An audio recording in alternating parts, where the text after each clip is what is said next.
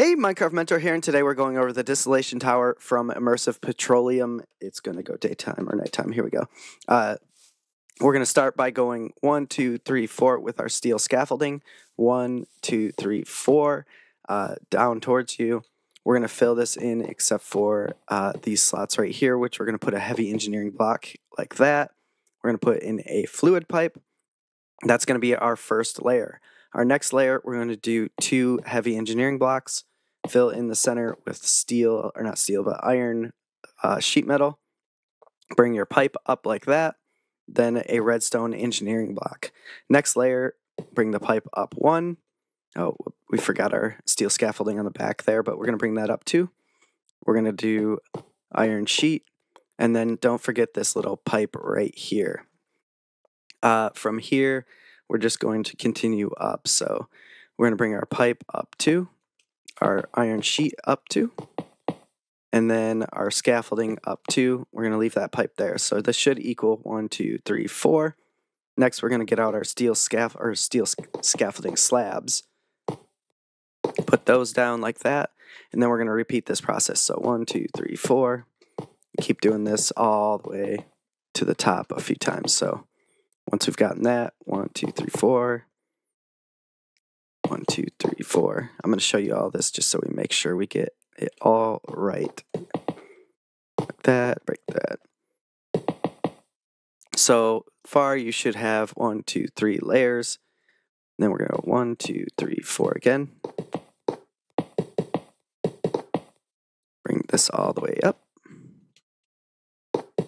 Again, with the slabs all around, leave that open for your pipe.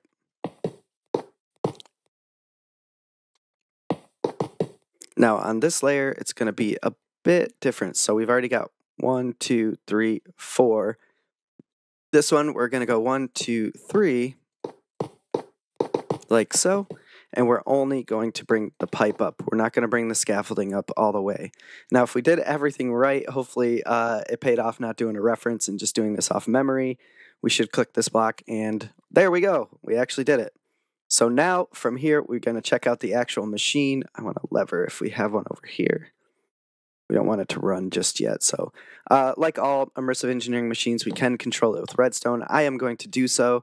Uh, we're going to grab a chest so outputs uh, physical items here. So I'm going to put a chest here. You'll see what it does in a minute. We're going to output fluids from this point. Anything with this little orange dot, that's where we can output fluids into tanks. And this one produces multiple fluids. If you know anything about oil, we're going to input our uh, crude oil right here on this blue dot. Let's grab our creative accumulator, which cannot be crafted. I have to repeat this a lot. This is not a survival item. Um, another another little cool thing about this that I noticed you can actually use these ladders. That's that's a, a nice touch. Nice touch. Whoever made this mod, uh, I didn't actually look at it. Good job. But anyways, uh, now that we've done that, let's grab ourselves a pipe and actually put some crude oil in here. the never ending cough that I have after I got sick. So if we look inside, we can actually bucket uh, crude oil in here through this slot and take our buckets out here. We're getting it filled up a little bit. I wanted to have a little bit of a reservoir before we get the machine going. We can also bucket out the fluids and it takes the fluid that's at the bottom first. Just keep that in mind. And I believe it'll only bucket it out if it has 1000 millibuckets, but um, that's how buckets work, right? So if you throw your bucket in here, it's only going to take a bucket if it has a thousand. And yeah, I think that's enough. Let's turn this thing on and uh, show you how it works. So as you can see, the little heater turns on.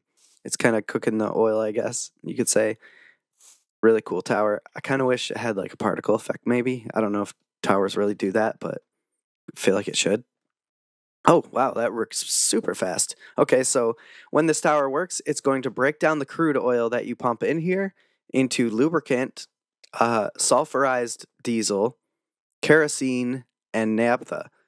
Uh, never heard of naphtha, but uh, I should mention that this tower has multiple uh, uses. So if you do go from crude oil into these specific items, these four products or byproducts of oil can actually be broken down even further. So, if you build more of these towers and send these fluids into those towers, it'll break them down into even more different products that can be used in different things. So I'll let you guys play around with that. There's so many different things that they can do, and uh, we might go into those if we actually go over those products, specific products, like going into gasoline and making diesel fuel, and that I'll do videos on those. But yeah, that's pretty much it for the distillation tower. Uh, if you found this helpful, like, comment, subscribe.